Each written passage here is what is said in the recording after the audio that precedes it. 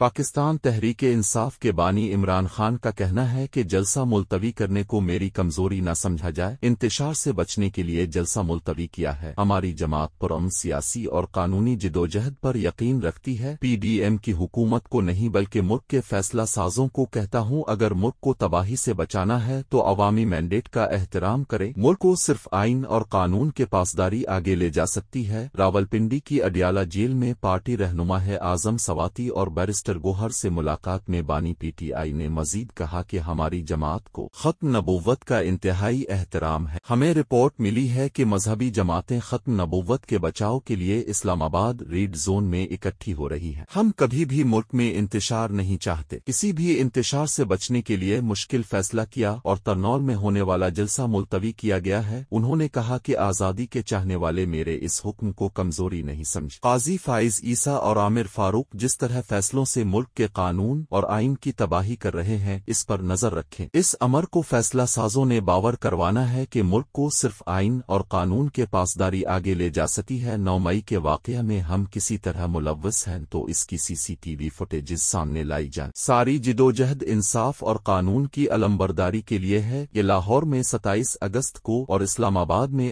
آٹھ ستمبر کو جلسہ ضرور ہونا چاہیے خیبر پختونخوا حکومت کے خلاف جو اپنے لوگ سازش کر رہے ہیں یہ برداشت نہیں کر سکتا بانی P T I Imran Khan کا پارٹی رہنما ہے سے گفتگو کرتے ہوئے مزید کہنا تھا کہ انشاءاللہ کل سپریم کورٹ جائیں گے اور عامر فاروق قاضی فائز عیسیٰ کے فیصلوں سے جتنا سطح کو نقصان ہوا ہے اس پر بات کریں گے الیکشن کمیشن اور چیف الیکن کمشنر کے خلاف جو ریفرنس فائل کیا ہے اس کی تفصیلات میڈیا کو بتائیں گے جس حکومت کے پاس کوئی اختیار نہیں اس سے بات کرنے کا کوئی فائدہ نہیں جعلی حکومت نے ہمارا مینڈیٹ چرایا ہے اس لیے ان سے کسی قسم کی بات نہیں کروں گا خیال رہے کہ اس سے قبل پی ٹی آئی رہنما بیرسٹر گوہر علی خان نے کہا تھا کہ بانی P T I Imran Khan کی ہدایت پر جلسہ ملتوی کیا گیا تھا عمران خان نے آزم سواتی کو بلا کر ہدایات دی تھی کہ آج ہونے والا جلسہ ملتوی کر دیا جائے اس موقع پر پی ٹی آئی رہنما اعظم سواتی کا کہنا تھا کہ قانون کی علم برداری اور انتشار سے بچنے کے لیے آج ترنول کا جلسہ منسوخ کیا گیا تھا ان کا یہ بھی کہنا تھا کہ عمران خان کی جانب سے تمام کارکنان کو ہدایت ہدایت کی گئی کہ جلسے کی تیاری جاری رکھیں پارٹی رہنما کو کارکن عوام میں نکلیں